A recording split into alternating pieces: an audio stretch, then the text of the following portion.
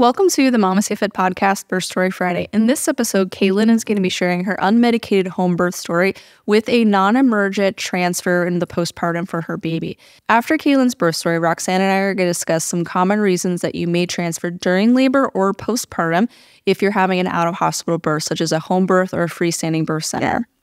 Welcome to the MamasteFit podcast. This is Gina, perinatal fitness trainer and birth doula. And this is Roxanne, labor and delivery nurse and student midwife. And this is the MamasteFit podcast, where we empower you on your prenatal fitness, birth, and postpartum return to fitness journey. Our podcast shares how to move throughout your pregnancy to stay strong and comfortable. Pain is not a requirement of pregnancy. Understand the science of birth and how to approach recovery after birth. We share our personal experiences as mothers navigating the stage of lives, plus our professional expertise as birth workers and fitness professionals. Our goal is to help you feel confident as you navigate the perinatal timeframe for an empowering pregnancy, positive birth, and postpartum journey. We are glad to have you with us on this journey and that you've chosen us to support you.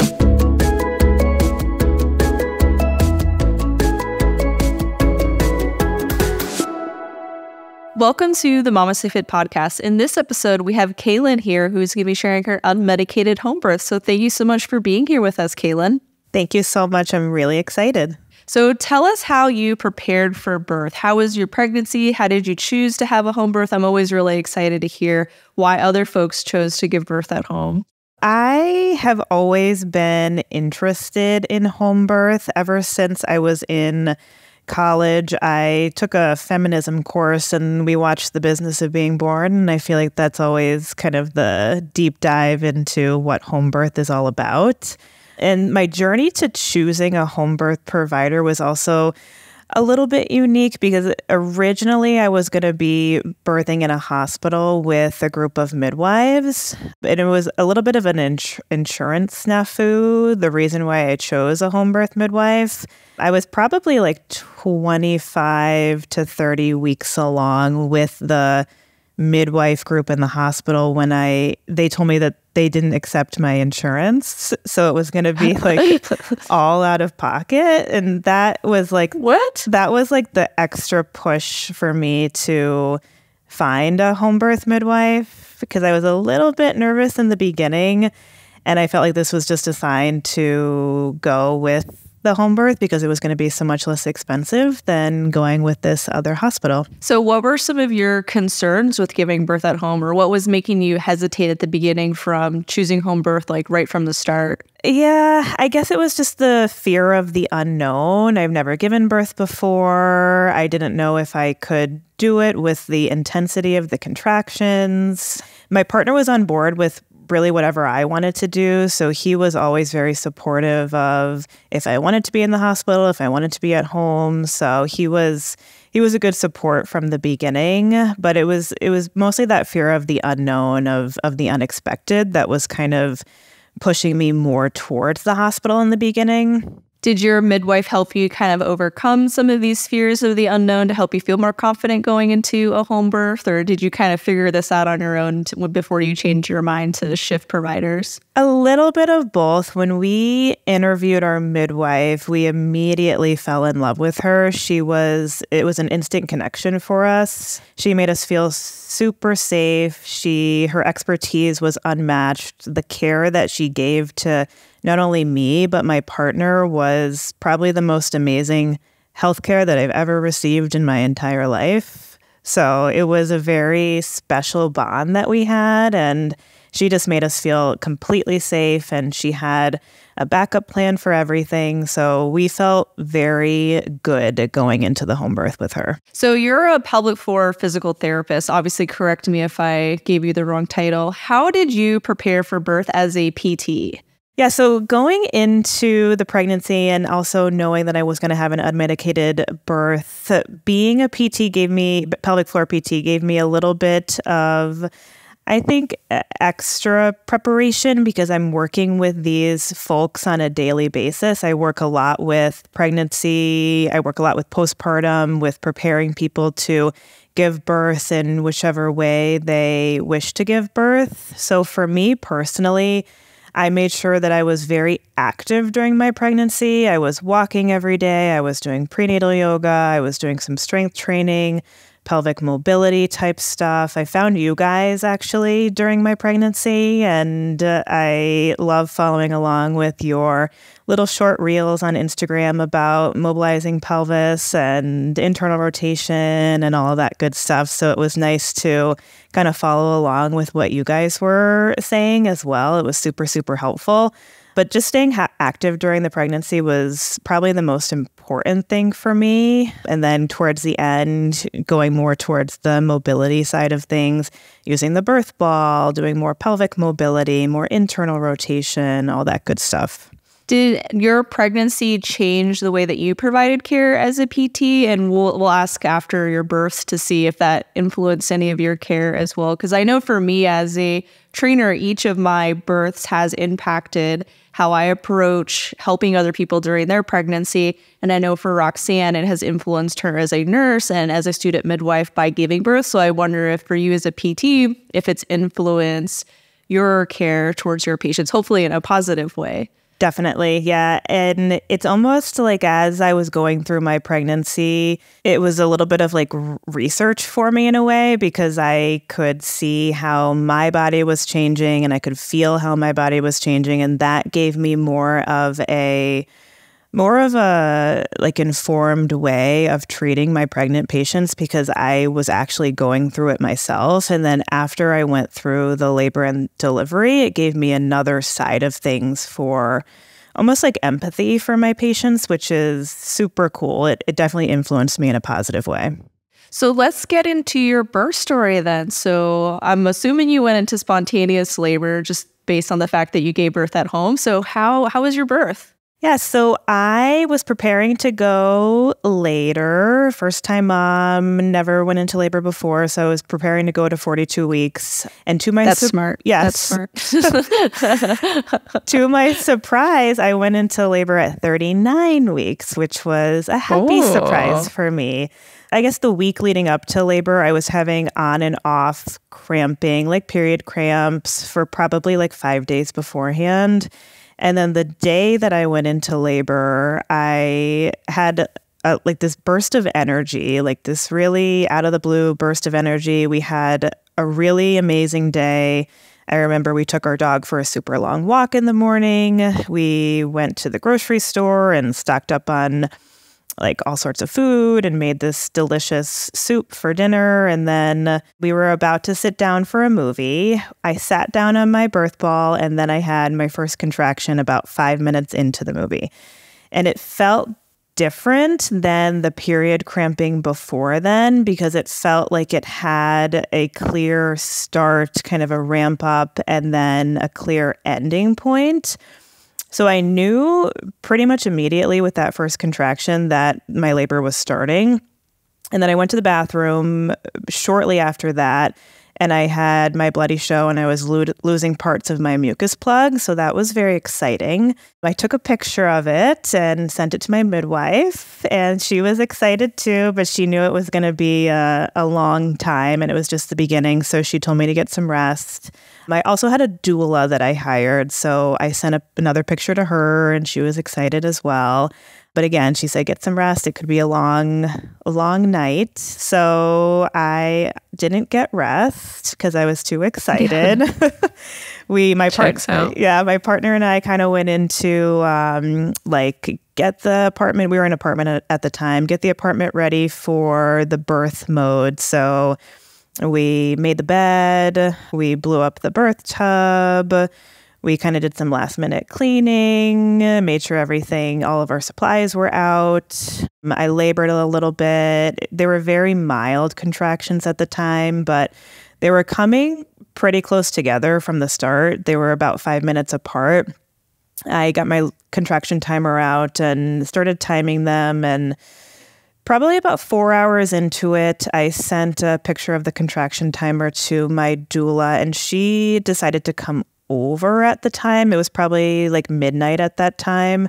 Spoiler alert, I had her come way too early. So she got there and things kind of slowed a little bit. The intensity wasn't as intense as it was before she got there, but they were still coming every five minutes. So she decided to, to sleep on our couch And she told us to go into our bedroom and try and get some sleep. We were in and out of sleep at that time. Every time a contraction would come, I would flip onto hands and knees and kind of sway through them. And then during the breaks, I was able to drift off into kind of a half sleep. Again, they were still very manageable at the time.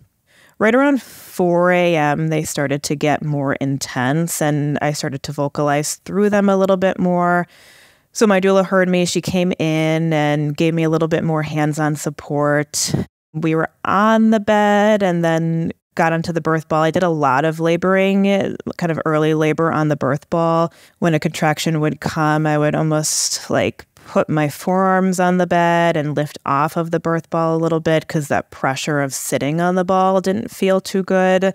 But then I would go back down on the ball and sway my hips and circle my hips, and that felt really good at the time. And then around 7 a.m., my midwife came and she just kind of snuck in and started setting up in the background. She brought all, all of her bags and supplies, and I was laboring in the bedroom with my doula and my partner and things were getting more intense.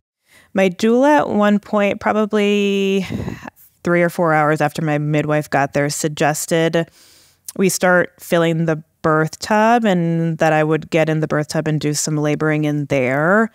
I was a little bit reluctant to do that because I didn't want things to slow down.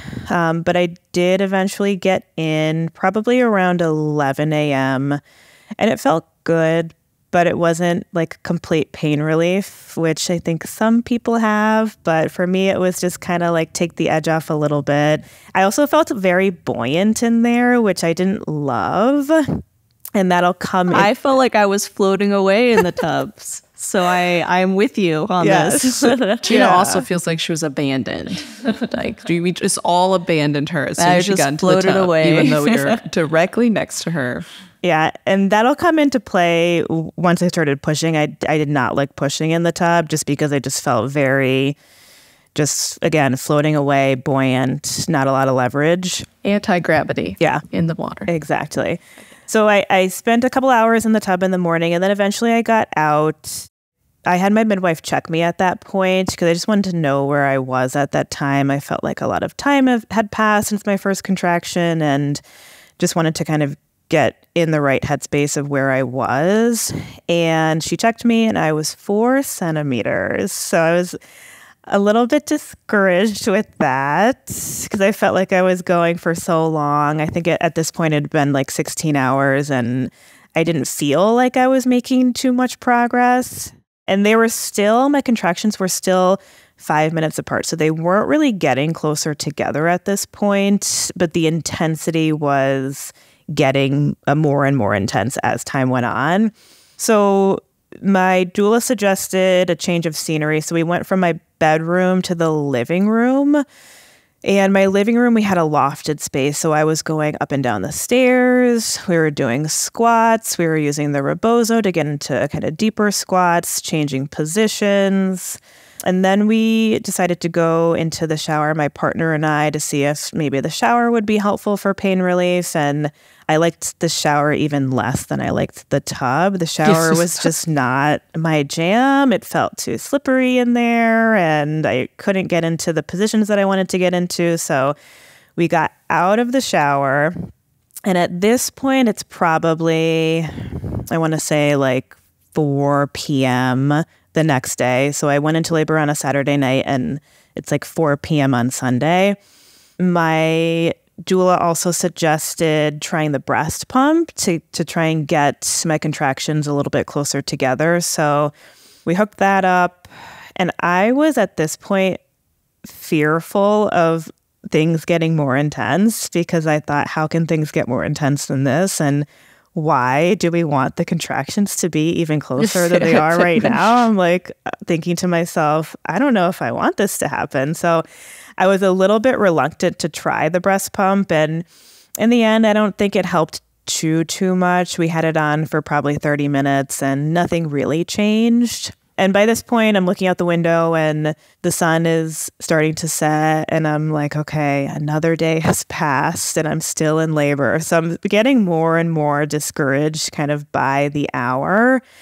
And my birth team wanted to leave us alone for a little bit and see if that would kind of get things going. And as the sun is setting and if nobody is watching us, maybe that'll increase the increase the contractions a little bit more. So they left. They went to get dinner. It was my midwife, the assistant midwife, my doula, and then I also had a birth photographer. So they all left. So it was me and my partner at home, just laboring by ourselves. And so we decided to go back into the bedroom, into the master bath, and I got backwards on the toilet and did some laboring there. And I think that was a little bit of a turning point for me because things, I felt a shift and things started to get more and more intense. And after about an hour of that, I wanted my partner Ryan to call our birth team back because I felt like I needed their support. So they got back pretty quickly. I think she checked me again at that point, and I was only six centimeters. So I was still not happy with that progress. And at this point, I was starting to doubt myself a little bit and thinking, okay, what's our plan? Should we plan to transfer to the hospital? What are we going to do? And the whole time I was fine, baby was fine. It was just the exhaustion that was getting to me and and the discomfort was just getting so intense. But I am stubborn and I didn't want to transfer to the hospital. And we were all doing good and heart rate was good. So we planned to stay. And I think at that point, the, the water in the tub was too cold for me to get in. So, but I wanted to get in. So they, my birth team was like, taking the water out of the tub with buckets and like boiling hot water and putting it in. And this went on for probably like 45 minutes until the temperature was warm enough for me to get in. And so I eventually got in, and I think my partner got in with me, and he's giving me hip squeezes and my doula's putting like cold washcloths on my forehead and we're just laboring for another couple hours and I'm I'm pretty sure I went through transition in the tub. I, at one point, I started vomiting. I had this raging headache. I was exhausted. It was just not the funnest time. And then I eventually got out of the tub. I wanted to, to change positions and, and walk around a little bit. And I had my midwife check me again. It was probably around midnight at this point on Sunday. And I was eight centimeters, but I had an anterior lip. And uh, my midwife suggested holding the lip back. And I do a couple of like practice pushes to see if we can get his head past the lip. And my water still hadn't broken at this point. So I still had kind of a bulging bag of water. She didn't want to break it. Um, and I was fine with that. And we did that for probably like an hour. And as she was holding back the lip at one point, my water burst. So my water broke. And at that point, things got really intense. There was a definite shift in how I was feeling physically, and the the pressure on like my sacrum and tailbone was just the most intense pressure that I've ever felt. And I got a little panicky at that point. I was like, is this supposed to happen? And my doula was like, this is good. This is great. We want this to happen. And I'm like, oh my God, I don't know how much longer I can take this for. So eventually uh, we went on for a couple more hours. And then eventually I was 10 centimeters. And it was really time for me to start pushing. But looking back on my birth, I wish I waited a little bit and kind of labored down a little bit because I pushed for a very long time. I think my total pushing time was like four to five hours. And I think if I could go back and do it over again, I would just labor down a little bit more instead of actively push for that long because I was very exhausted by the end of it. I did pushing in all different positions. I wanted to try all fours. I wanted to try side lying. We did some squatting positions. Most of those, all fours and squatting and side lying, actually, I was getting these like really bad cramps in like my hip flexors and my calves because I think I was just pushing way too hard and way too intensely that my whole body was just starting to cramp up and and tighten up. So my body was almost working against me at that point. The position that I actually got the most leverage in was on my back, which was interesting to me. Being a pelvic floor PT is we like to encourage all those different positions and the position that worked best for me was on my back. My knees were more internally rotated. I had I think my doula was holding one leg in and and my midwife was holding the other leg in and my husband was kind of back behind me. And eventually after all of that pushing, I started to crown and that was an, a sensation that I also did not like, and it it felt like ah, it. I last- don't know if anyone likes it. It felt like it lasted like 45 minutes, but looking back at my timestamps on my birth photos, it was probably like a couple of minutes. But in the moment, I'm like, this is never ending. So, so, so, And so- I reached, I- reached down and I felt his head, and I thought to myself, he's not coming out. He's not fitting out of here because it is a small hole and a big head. But eventually, he did come out, and I think it was one more big push, and his head came out. And the next contraction, his shoulders just slid out really easily, and my pretty sure my midwife told me to to reach down and grab him. And I reached down and I kind of pulled him up to my chest and he was screaming immediately. And I couldn't believe that I had just done that. And the hard part was over. And all of this discomfort went away and it was just this like flood of euphoria and happiness and my partner and I were looking at each other and crying and it was a really great moment. All of that hard work was was worth it to have that moment again. So, in hindsight, would you do it again? Yes. yes, definitely. It's always, I I don't want to ask anyone while they're in the middle of labor, like, are you going to do this again? Because Yes. everyone is like, absolutely no, this not. is it. We're, We're done. Gina said it No more during her children. labor. We are done. no more. Three is enough. But then after the fact, I'm like, that's amazing. Yes. This was phenomenal. Yeah, I will do it, It is again. a great. It is a big, a big high. Yeah. I also felt like it was like this really wonderful bonding experience with my partner. Like it was like a different level of like love with one another. So I'm always like seeking that like romance high again too. But Yeah. Just go on a date. no, Yeah. it's not the same.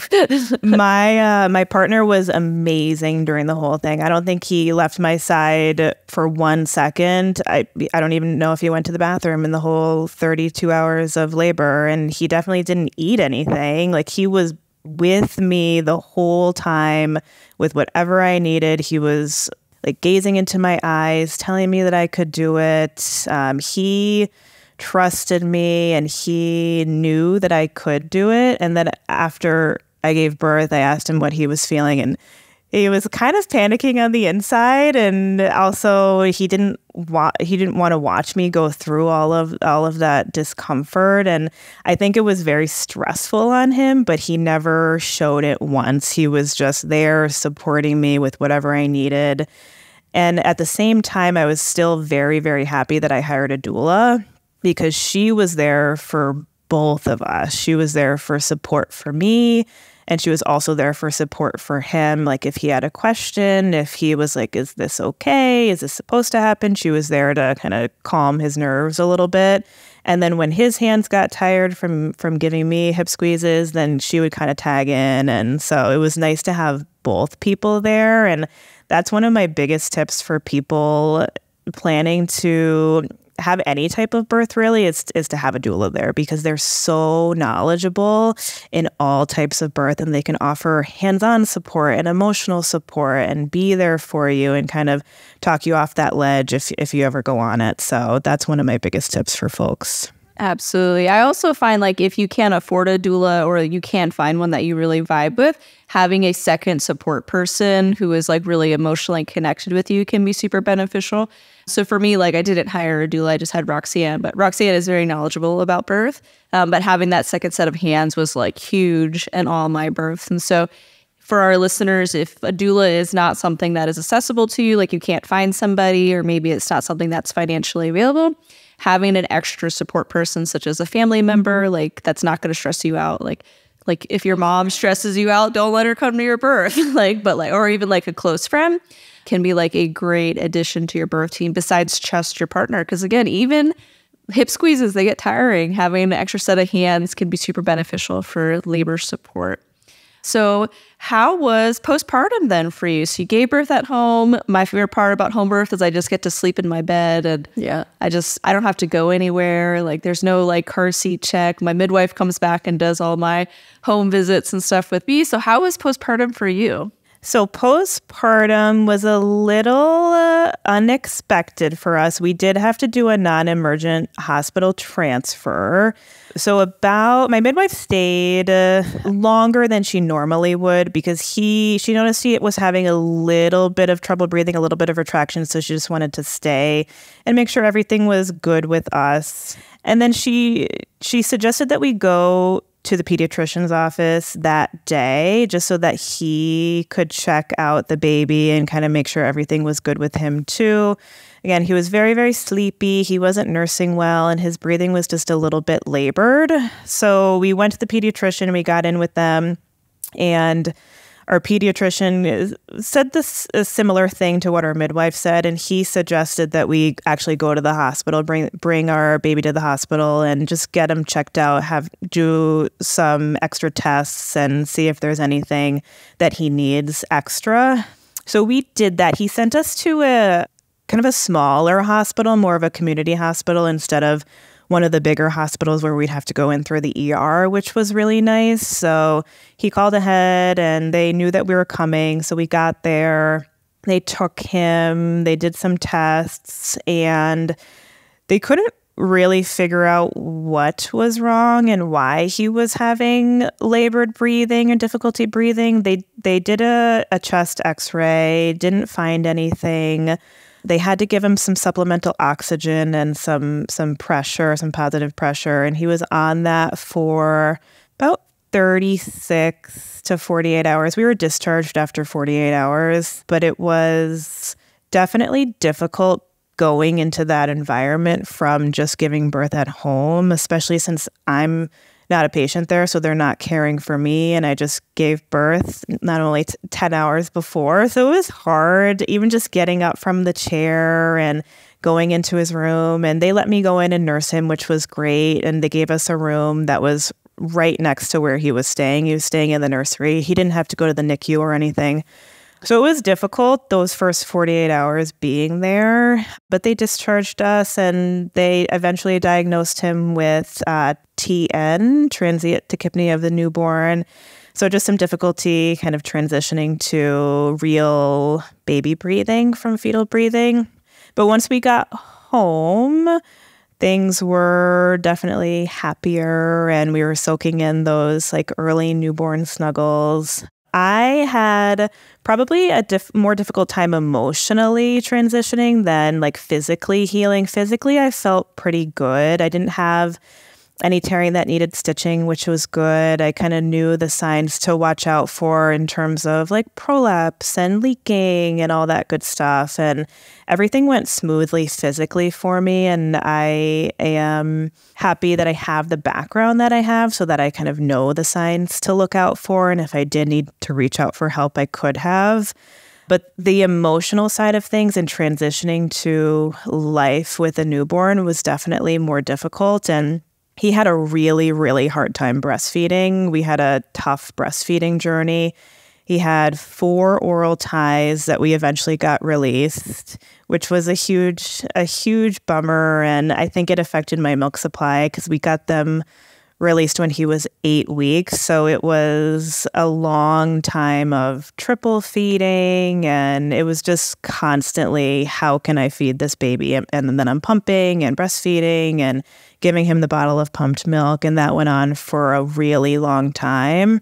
But eventually we got his ties released and he was so much better. His crying decreased. He wasn't as uncomfortable. He didn't have so much gas. So it was a long journey of uh, of all of that triple feeding and um, kind of troubleshooting the tongue tie and everything, but it all sorted itself out and he eats like a champ now and it's just that transition to not having a newborn to having a newborn and figuring them out which was was difficult for me I definitely found the transition from zero to one to be hardest for me. And I, I felt like there was this like emotional like growth or like awakening that happened within me when my first was born. So I can totally empathize with that emotional shift. We had a hard breastfeeding journey to begin with. Roxanne did with hers. And I think it's like one of those things like labor can be really hard. Hopefully, our birth goes the way that we want it to. And then, like, breastfeeding just lasts so much longer than labor. and when it's a hard journey, it can be like really emotionally taxing. So, do you have any advice for anybody that, let's say, they are a home birth and they do end up having to transfer postpartum for like an emergent or a non emergent reason and kind of how to deal with that, especially if the transfer is for your baby? Yeah, I think having a support system in place, whether it's friends or family that you can really lean on during that time, and people that are not going to judge you or make you feel bad about the transfer or make you feel bad that it happened in the first place is a huge piece of things as we really leaned on our family, my parents, my in-laws and some of our really good friends during that time. And then also knowing that you did nothing wrong in the first place and things just happen and sometimes that is the way that your birth is supposed to go. And sometimes it will take a, a little while of processing for you to for you to feel that way but birth is unpredictable and sometimes you need a little bit of extra help from the from the medical side of things and sometimes it's it's um, after the fact too. Like you could give birth at home, and then you need to you need a little bit of extra help for your baby, and and knowing that it's all for your baby, and things just need to happen the way they happen. But having that support system in place is is a huge a huge piece of things. Absolutely. Did you feel any like resistance or like judgment from the medical team, like when you were going through the process? Yeah, there were definitely some providers that had more of a like judgy tone and saying things like this wouldn't have happened if you gave birth here or we would know why your ba- baby's doing this if you gave birth here. So we had resistance from some providers but then there were also some providers that were very non-judgmental and supportive and actually kind of pulled us aside and said listen things happen in the hospital and things happen at home, and none of this is your fault. And uh, it's just the way that things are supposed to happen. So I appreciated those nurses and doctors that did take the time to talk to us and tell us that you know none of this is your fault it's it's just something your baby just has a little bit of of difficulty transitioning from from uterus to air It happens. Yeah. It happens. Yeah. Um, and fortunately, we have trained medical professionals that can support us at home or in out of hospital birth settings who are trained to help our babies transition, to help stabilize us if there's any sort of issue after birth, to help prepare us for transfer. Um, so it's not like, good luck if you give birth at home. Like we have medical professionals that are trained to keep us safe and to let us know when transfers may be necessary. So I'm really glad that you had a midwife with you to help navigate the postpartum with you. But yeah. So thank you so much, Cailyn, for coming onto the podcast and sharing both your birth story and your postpartum story. I know that folks that are listening to it are going to learn a lot from you and then also hear a story where labor wasn't like this super smooth, fast, easy thing. I think it's encouraging to also hear that labor can still be really hard and we can still have a really positive experience, even if it's maybe a little bit harder than we were hoping for. How can our listeners learn more from you? I know that you're a pelvic floor physical therapist. So if you want to share like the city that you're in, if folks want to come and work with you um, or where they can work with you, you don't have to give us like your home address or anything, but like where your business is located, um, please let us know. Yeah, so I have a small private practice in Canton, Connecticut. It's a little bit northwest portion of Connecticut, a little bit central. You can find me on social media at Lotus Pelvic Health, or you can also send me an email. It's my name, Cailyn, C A I L Y N, at lotuspelvichealth.com. And I would be happy to chat with you and happy to see you. Well, thank you so much for sharing your birth and your postpartum story with us on the MamasteFit podcast. Thank you so much. When I was about a month postpartum with my second baby, I decided to start MamasteFit 16 week postpartum return to fitness program, and I so enjoyed it. This program is so thoughtfully designed to rehab your pelvic floor and your abdominal core while also progressing towards regular workouts. Um, I really struggle with pacing myself, and up until this point, I had never actually taken the time to learn how to properly engage my core and manage my intra abdominal pressure. But this program did it for me, and they also offered gentle, frequent reminders of how important this postpartum period was to properly rehab and give yourself patience as you resume regular activities. And by the end of the 16 weeks, I was so happy with how I was feeling. I was already lifting as much as I had been prior to my delivery with no pain and no symptoms. In Cailyn's postpartum birth story, her baby ended up transferring for a non emergent reason after birth. So, baby was having a little bit hard time transitioning and was having some difficulty breathing. It wasn't necessarily an emergency, but they did end up at the hospital for a transfer. And one of the things that's like a really big concern when you're giving birth in an out of hospital setting, and one of the big fears is what if there's an emergency at home or at this freestanding birth center? Like, what do we do? And this is something that's really important to discuss with your medical provider, especially your medical provider that's giving you care at home or in the birth center, of what their transfer plan is and what transfer criteria is. So, is there any complications that happen during your pregnancy that would mean it would be safer for you to give birth in a hospital setting? Are there any complications that could, occur during your labor that would mean that you should transfer to a hospital setting?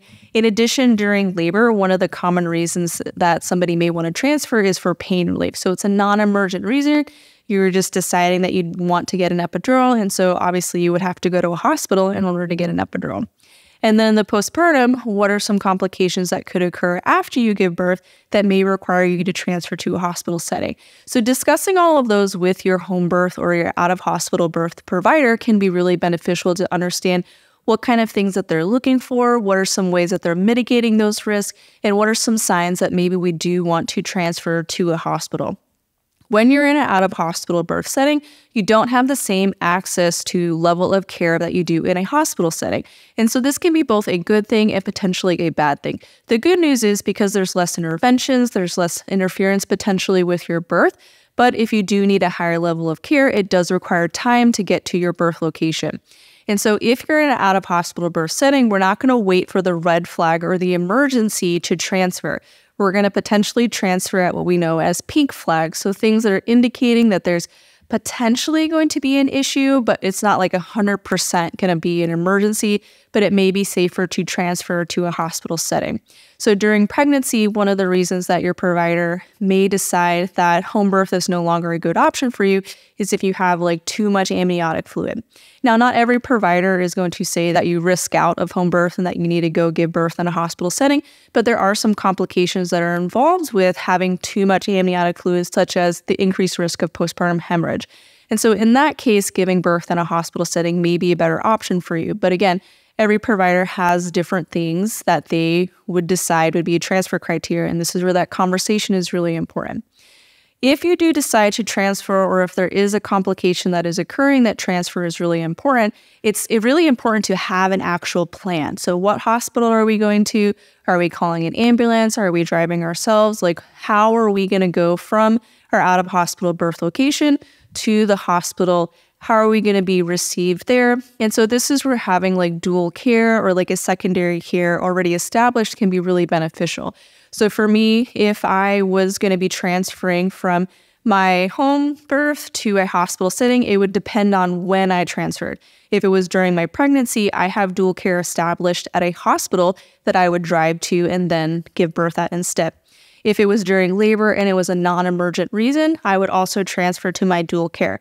Now, if it was a more emergent reason during labor or postpartum, I would transfer to the nearest hospital, which is not necessarily my dual care, but these are things that I've discussed with my midwife to keep me and my baby safe during birth.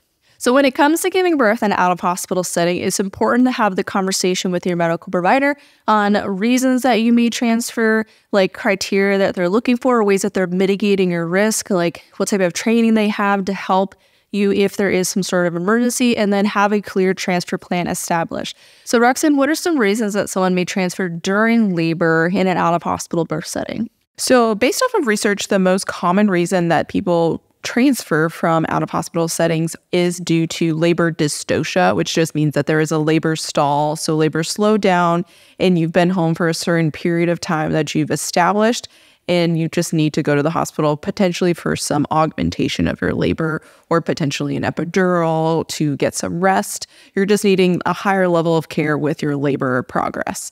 And that is the number one reason that most people will transfer for out of hospital births. The second most common reason is for fetal distress. So this is they're listening to baby's heart rate throughout your home birth still in your freestanding birth center. They're not just like hoping your baby's fine the entire time. They're still listening to baby's heart rate intermittently throughout your labor.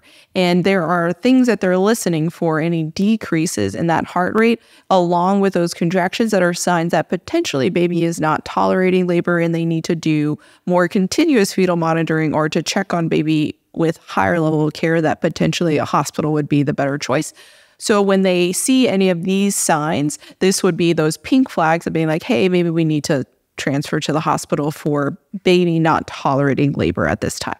And those were like the two biggest reasons. And then the next one would be pain relief. They just wanted something for pain relief. They no longer wanted to have an unmedicated labor. They either needed IV pain relief or they wanted an epidural. And those were the top three reasons for transfer during labor. And even in my experience working at a birth assistant at a freestanding birth center, the number one reason that we did have transfers were like something was going on with the labor that the labor had stalled and was no longer progressing. So it was no longer safe for them to continue laboring at the birth center. Postpartum is a little different because there's now two people that potentially might need to be transferred. Either it could be the baby or it could be the person who gave birth. So they could have a postpartum hemorrhage in the postpartum period. And there are different thresholds of each location of when they would transfer for a postpartum hemorrhage, whether they, one, can't get the bleeding to stop. So obviously that would be the top reason to transfer for postpartum hemorrhage if they cannot stop the bleeding but some will even transfer if you lost a lot of blood, even though they stopped it because you had a high blood loss. Potentially, you might need a blood transfer or you just need closer monitoring than you could get at home that it necessitates that transfer to the hospital, especially if you find like yourself is passing out because you lost so much blood. That's kind of a kind of a big deal. Other reasons that you can transfer for yourself is all of a sudden you start having really elevated blood pressures because these could be signs of postpartum preeclampsia developing that you do need some sort of medical assistance with to avoid potentially going to have a seizure, um, which is eclampsia. And then for babies, usually the biggest reason for those transfers is something along the lines where they are not breathing. So, some sort of respiratory distress for these babies. So, just like Cailyn, her baby transferred for something called TTN or transient tachypnea of the newborn. And this is a benign condition that just develops in some babies. It's around 1% of babies at term develop this condition. And it's caused by the fluid that's within their lungs when they first started taking those deep breaths they were not able to fully clear all of that fluid out of their lungs. And this can happen anywhere, like whether you deliver at home or even in the hospital. This is most commonly seen um, in my experience for babies that were born via C-section because they were not pushed through the vaginal canal. So all of the fluid that's within their lungs isn't fully pushed out because they went through the belly versus the vagina. So this is sometimes seen in babies who are either a scheduled C-section or potentially unplanned C-section during labor because they have all of that excess lung fluid that is kind of just a little bit harder to clear versus after a vaginal birth. But it's also important to note at out of hospital births, your providers have oxygen and they bring stuff to be able to respond if baby comes out and needs oxygen. And they can perform that neonatal resuscitation protocol even in out of hospital birth settings. So they can give oxygen until they can transfer to the hospital for these babies. And then they usually also have some sort of medications for other types of emergencies as well in out of hospital settings if they are licensed providers. It's not very mm-hmm. common to transfer from out of hospital to hospital. The rate of transfer is anywhere between 9 to 30% depending on if it's your first birth as well as like where like your provider's kind of threshold. It might be a little bit lower if they're a little bit more lax with their threshold, maybe a little bit higher depending on your provider. So asking that like rate of transfer can be a really great question that I asked myself when I was looking for a birth center, like what their transfer rate was. Number of those that were emergency transfers was anywhere between 0 to 5% of the 9 to 30%. So not all of the births that happened out of hospital 5% of them transferred for emergencies. It was just of the ones that transferred, 5% of those were for emergencies. So, not common, but for some that might be too high, and others that might be a low enough number for them.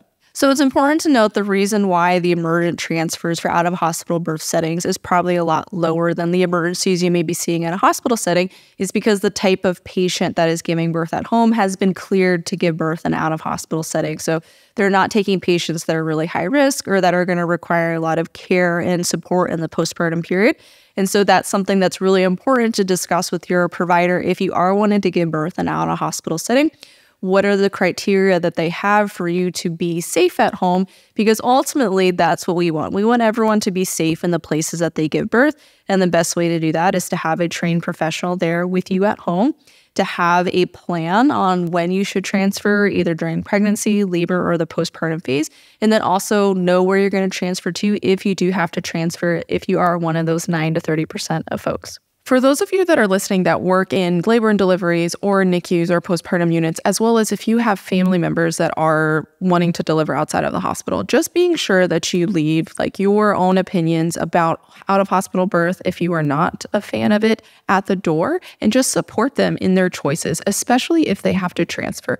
Don't try to treat them any differently because their choice, where they choose to deliver, is their own choice, not yours bringing in your own opinions doesn't really make the situation better, but it can potentially impact their own birth and postpartum experience negatively.